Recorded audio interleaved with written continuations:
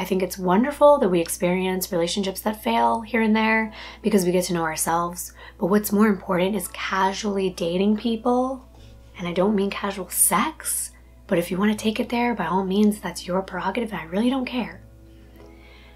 But casually dating enough people who come closer and closer to what's on your list to where you finally meet someone that goes from dating a couple of times a month to a couple of times a week to almost every day to being in a committed relationship because relationships should have a pattern and they should have a process that they go through. They shouldn't go from meeting someone to moving in.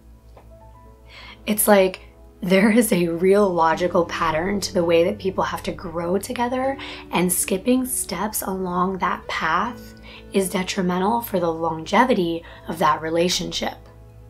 If you try to move too fast, if you move too slow, and this sounds so complicated, but being honest with yourself from the beginning and honest with other people, it's gonna make it a lot easier. So, women, you're on a date with a man, and he says, You know, I'm really not looking for a relationship.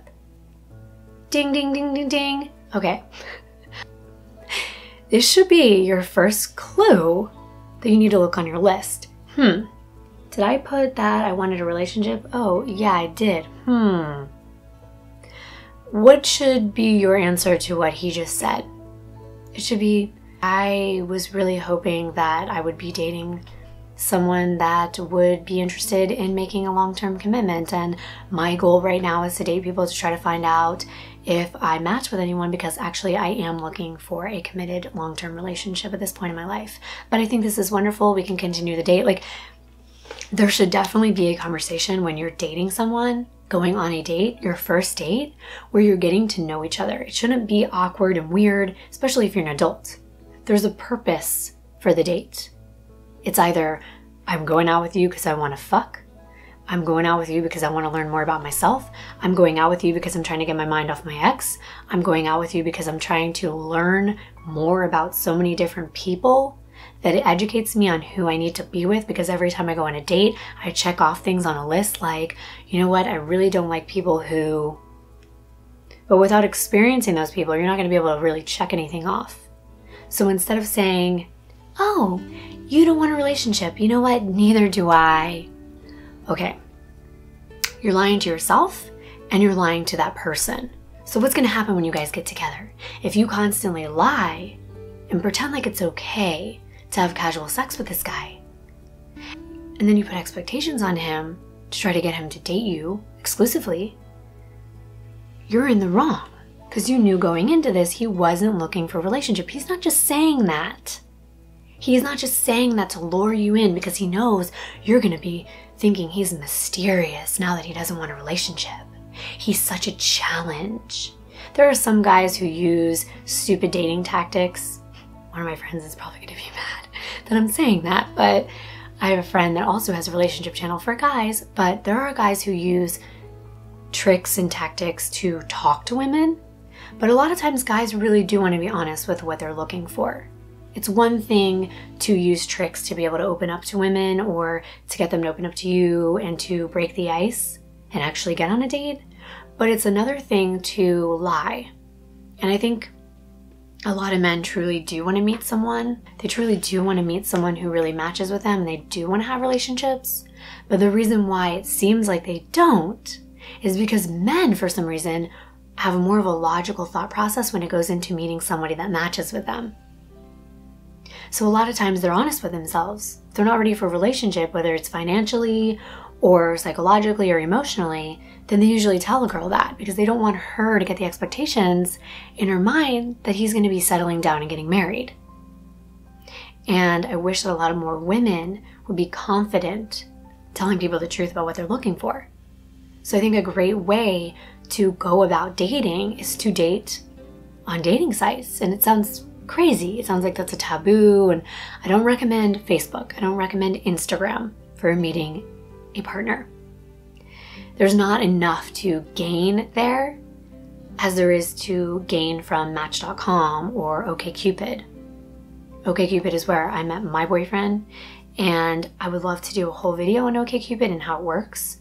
But briefly, I just want to explain that when you sign up, it's free. You can do a paid version too, but I did the free one. It's fine. And I think I heard for men it's better for the paid. I don't really know. We can get into more of that when I do the video. But bottom line is, you answer a lot of questions. And if you're serious about finding someone, you fill in what your objective is. So if your objective is to go on there to meet friends, then you're going to write that in. If your objective is to have casual sex, you're going to write that in. If your objective is to get married in the next five years, you're going to write that in. If you're being honest with yourself. Because there are a lot of people out there who are looking for exactly what you're looking for, but if you're lying, you guys are never going to match. You're never going to match up. So you're honest, you answer like the 200 questions. It sounds a little bit overwhelming, but they're pretty much multiple choice. And then what the system does, conveniently, is it matches you with people who answered those same questions with the exact same answers. So I think like the choices are like yes, no, and maybe. I don't know, something like that.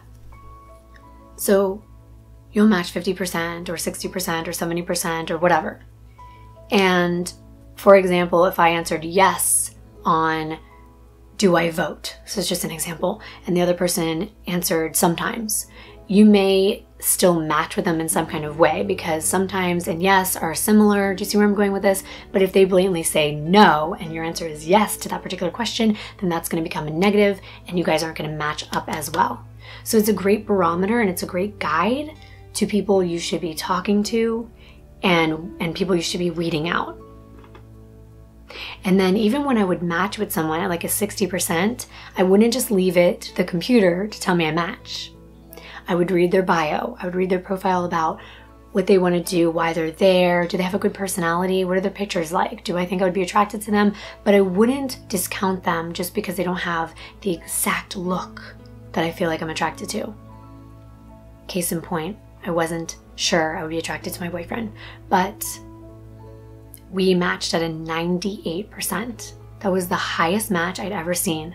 And when I started reading through the questions and seeing all the ways he answered them, because you can match someone at a 70%, but then you start reading their answers and you realize, okay, they said yes, they do drugs, I'm not really into drugs. So you have to see which ones you didn't match on. Because if they're anything about morals or beliefs and you guys don't match on those, then I would caution you to think you guys are going to be successful in a relationship together because some of those things are very, very hard to overcome. So, why even put the pressure on yourself when there's 10 other matches that might work out better for you?